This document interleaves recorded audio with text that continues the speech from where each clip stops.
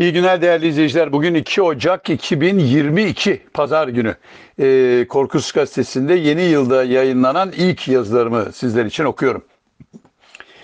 Hoşuma giden şeyler başlığı altında değişik bir kral çıplak hikayesi. Zaman zaman çok beğendiğim yazılar okuyorum sosyal medya ortamında. Bunları köşemde de yayınlamak istiyorum çoğu kez. Kiminin yazarını buluyorum. İşim kolaylaşıyor tabii. Arayıp iznini istiyorum. Bazılarının ise yazarını bulmak mümkün olmuyor. Google aramasıyla haydi gerilere kadar gidiyorum gitmesine yine de asıl kaynağa ulaşamıyorum. Bunun nedeni bir yazıyı ilk kez sosyal medyada paylaşanların kaynak belirtmemesi oluyor. Nedense böyle bir huy var pek çok kişide. Altına alıntıdır diye yazınca sorumluluktan kurtulduklarını düşünüyorlar. Geçenlerde beğendiğim bir yazının yazarını bulmuş sonra da bu sayfada paylaşmıştım. Bir hafta sonra bir baktım benim köşedeki bu yazı sosyal medyada alıntıdır ibaresiyle dolaşıyor. Bugün sizlere paylaşmak istediğim yazının da kaynağına ulaşamadım ama sosyal medyada birçok grupta paylaşılmış. Üstüne fazla yorum yapmadan sizlerle paylaşmak istiyorum. Bilemiyorum herkes nasıl bir benzetme yapar, nasıl yorumlar, nasıl bir duygu içinde okur. Başlayalım o halde.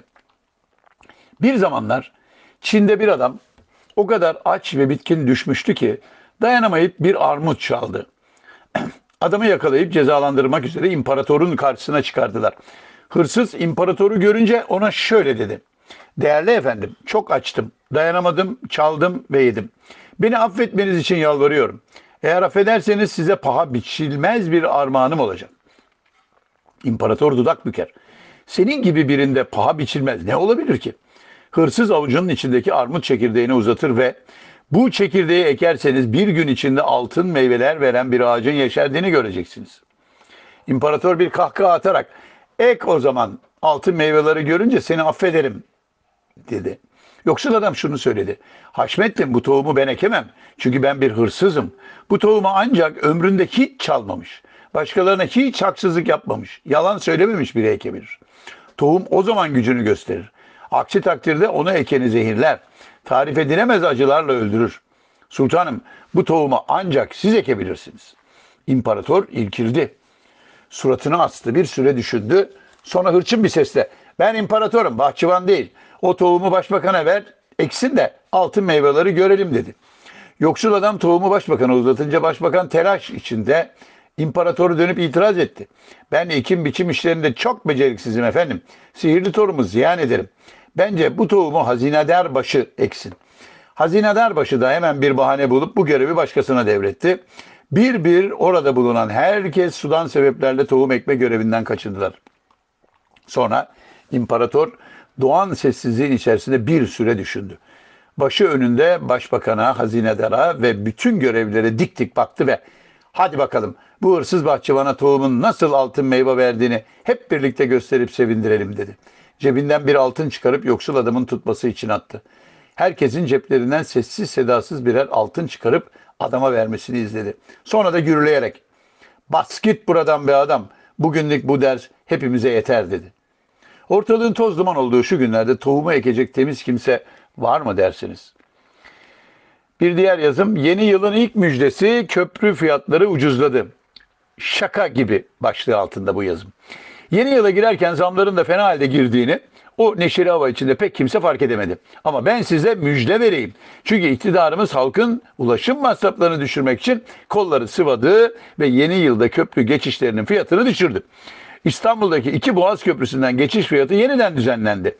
Daha önce 13 lira 25 kuruş olan birinci ve ikinci köprü fiyatları 8 lira 25 kuruşa düşürüldü.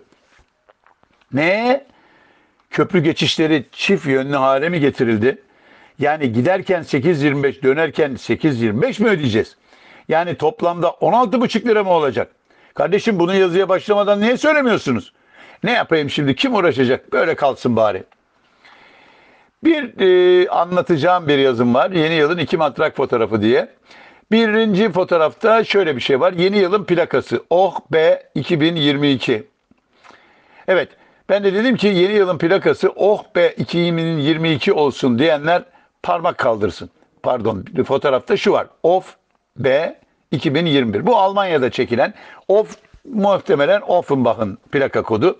BE işte bizdeki 3406'dan sonra gelen harfler ve 2021. Ben de diyorum ki yeni yılın plakası oh be 2022 olsun diyenler parmak kaldırsın. Bir diğer fotoğrafta da Boğaz'dan geçen bir gemi adı Omikron Nikos. Omikron bildiğimiz evet varyant omikron. Ben de altına şunu yazdım. Koronanın omikron sürümünün deniz yoluyla geldiği saptandı. Ve gelelim bugünün yılın ayrıca e, ilk fıkralarına. Çok güldüm başlığı altında.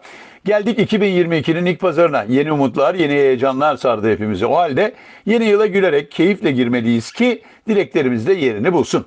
İşte yılın ilk fıkraları, üstelik dört tane birden. Yıldırım Tuna bu yılda bizlerle birlikte olacak. İstanbul'da restoran.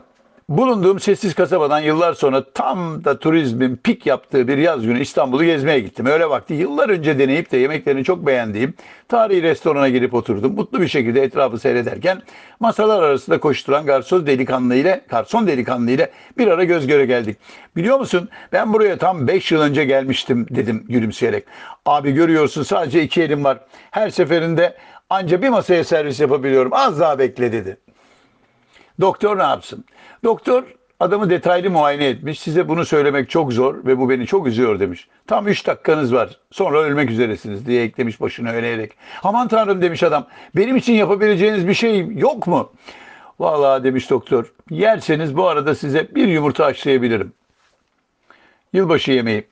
Eşime doktora gideceğim hayatım. Covid olabilirim dedim. Nereden çıkardın ki dedi. Şu anda fırından, fırında kızaran hindinin kokusunu alamıyorum. Koku duygum kayboldu. Doktora söyle de asıl sen Alzheimer seni sen de Alzheimer araştırsın dedi. Ne alaka?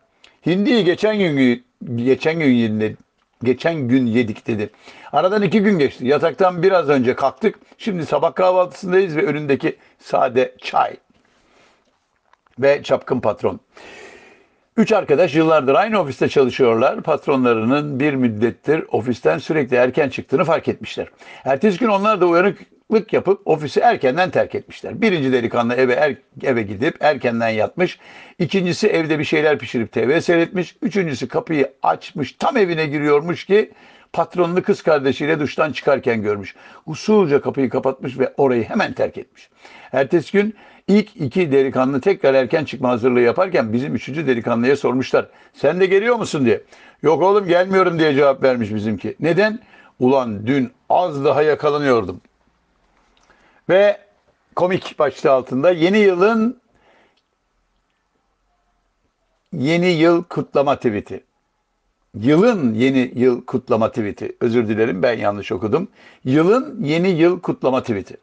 Siyasi eşkıya, kalibresi bozuk, cins cibilliyeti bozuk, adam değil, kifayetsiz, muhteris demişsin Erdoğan. Hepsi geçecek. Güzelce dinlen, ilaçlarını sakın ihmal etme, üzmesinler seni. İyi yıllar.